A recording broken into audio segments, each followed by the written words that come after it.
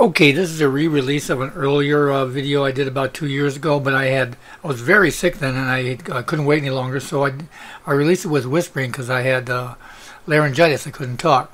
So here's the updated one a little bit and with me talking in a normal voice. I hope you like it. To better understand what's uh, supposed to happen, we're going to go take a look at normal operation first. And in this case, uh, what I did is I plugged in a old Canon camera that I had. It automatically uh, imported or opened the photo app because I had it set up to whenever I plug in the camera, I want to be able to import and choose which ones I want to import. So if that doesn't work, we're going to start doing some troubleshooting. thing you want to do is you want to change the whatever USB port you're plugged into. You may have a different uh, USB port than what's required. Now here's an excerpt from my uh, laptop manual. This is, if you notice on this side of it, it's got a USB 3.0 3.0 port on the other side, it's just a regular USB port, probably a 2.0. We unplug your uh, device from one and try it in the other, and Windows may pop up and recognize it. So if that didn't help, you want to go ahead and change your USB cables. Not all USB cables are exactly the same. You notice the one on the left here has a tag, and that's the one that came with my phone. That's how I recognize it. The other one I bought from Amazon. If you notice, the one on the left is thicker than the one on the right. So all USB cables are not exactly the same. Maybe just uh, picking up a cable, different cable, plugging it in, try it on both ports, and you may be okay.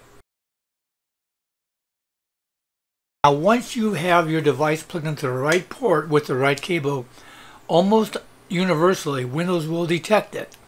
If nothing happens, there's still a couple things uh, you may need to check. First thing we're going to do is we're going to go up to the right, click on the PC, we're going to go to Manage and up will come the uh, device manager is one of the computer management uh, things we can do. We'll click on that and we'll go see if it's there. Normally it'll be somewhere in a certain area, uh, probably under portable devices, things you can plug in and un unplug. Um, and in this case it is. It says it's there. Now it may not be up to date. It may not be the Windows drivers may not have been installed correctly, whatever. Uh, you can check that by simply right clicking on it, click on update driver software uh, right here and we'll, and when you click on it you'll get a dialog box and say search automatically. In this case it says it's the uh, current software you may get a, a, new install of new software. For those of you who like to deal with the newer interface uh, we'll go back to that for a second. Uh, we'll go up here to devices and we'll click on it and you'll see basically the same stuff. This is for printers and all that kind of things. But we go up here to where it says, uh, and we can add a printer here or a scanner here, but if you're talking about other devices, you click here, you'll see that it's all here. In my case here, I do the same, uh, I'm going to remove the device. I use the same device, but I'm going to remove it so we can watch it reinstall. I click over here, say yes, I want to uh, uninstall it, now I can either add a device at the top of that or I can go back over here to the manage and basically do the same thing that I did before. So I come over here to device manager. I look underneath uh, portable devices. It's not there. So I go up here to the system, right click, say scan for hardware changes and sure enough, boom, there's the Canon PowerShot ELPH and it should install the new drivers. So at this point everything should be working fine. It finished installing the drivers. Uh, everything's there. If we look at the old interface, it's there. New interface, it's there. Uh, it should be working correctly. But let's say it doesn't actually pop and ask you to do anything or do things when you plug it in. You need to go to autoplay and then we'll see it should be listed here like it is down here.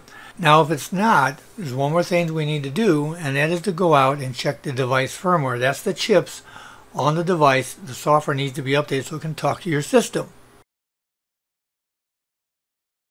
Now on this particular one I went out to the Canon site because this was a Canon camera and it'll differ depending upon your device but I went out there to find get product support and I'm going to put in the model number of my uh, my camera and that's typical. So I went to the back of my camera found the exact model name and so once I type it into their search I can go ahead and uh, under drivers and downloads at least uh, find out exactly uh, uh, where the drivers are if there are any at all so I type in the ELPH, it finds, uh, there it is, I click on it, and slowly but surely, and here we go, there's a picture, I've got the right device, everything's cool here, uh, look around here, and you see here that it has uh, drivers and downloads is where I'm at okay? Uh, I'm gonna click on drivers here and there is no driver for the OS version. So there's no new software drivers which we uh, which uh, when installed it didn't find any so there's no need to Microsoft has it. But here's the firmware and it says there's no firmware needed to talk to Windows 10 so we're good to go there. Now because not everybody uh, owns a Canon I uh, decided to go out to another site as an example. Here's the can here's the Nikon uh, site. They do it this way. There's right there is a link for a link for firmware updates. And we go in here here's a list of all different kinds of hardware and you can filter it by types and everything up here or you can just scroll down the page until you find the exact thing you want to, to talk about. Uh, I'll just go ahead and click on one here so we can see what they do. Uh, let me choose a model number. Uh, we'll go, it doesn't make a difference, we'll just click on one. And it goes to the page and it explains exactly how to draw, how to get the software, how to download it, everything you need to know. So you've done all that, and when you plug it in, nothing happens. Well, let's go off to the Windows settings. We're going to go over to devices and autoplay. Your item should definitely be listed now. Should be definitely listed down here, like my PowerShot is. And I can set different settings. In this case, I say I'm telling it to ask me every time uh, I plug it in to what to do. Okay, you can set it up for photos. I'll go ahead and do that uh, and it should plug in, it should automatically launch the photo app and start the import process. Uh, you know, say just to open files. And a lot of times I do that, depending upon my mood. So anyway, um, let's go ahead and uh, plug, uh, look here, it opened up a window, and there's my SD card, and then I just go, go to the folder where they are, and these are two different uh, dates of files, but there's some files there, and I can just go ahead and uh, drag those to wherever I want to put them on the PC. So there you have it, a step-by-step -step guide on how to get your device hooked up and talking to uh, Windows 10 and should be uh, fine getting those files transferred over.